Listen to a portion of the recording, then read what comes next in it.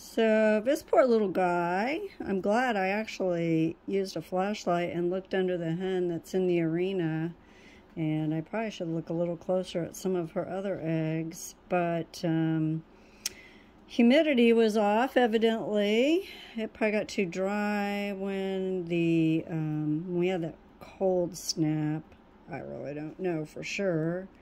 Um, but this guy is shrink wrapped and he's way past due. I've already pulled some of the egg back. I noticed right away that the feather that's exposed here is uh, completely dried off. Um, and I'm, like I said, I'm thankful that I looked under her. She's been killing my hand every time I come close to her. So um, tonight, I just wanted to see what was under her. And this guy was there, so I'm going to hopefully unshrink wrap him and I may stick him in with the little duckling that I have in the house.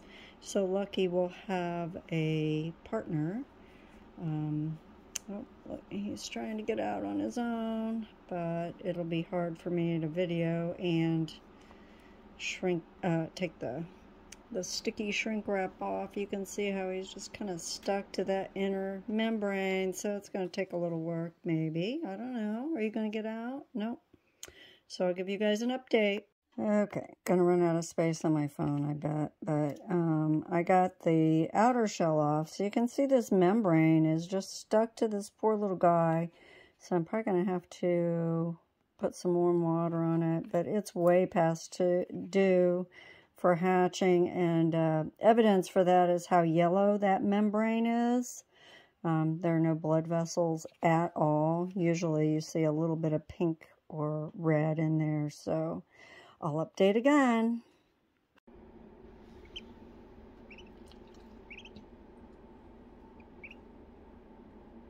This is the little shrink wrap duckling.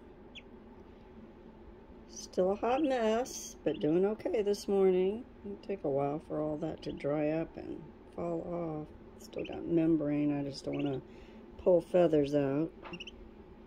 Yes, you're doing good. And these guys have become buddies, which is good because then Lucky's not screaming for me all the time when I have to put him down because, you know, there are other things to do too. And who is right here watching over us? Would that be Buddy? Right next to the cage protecting my plants against Tyra and Latte. It's a circus here. Yes, I know. Good dog, good dog. Gotta see the babies. Good dog.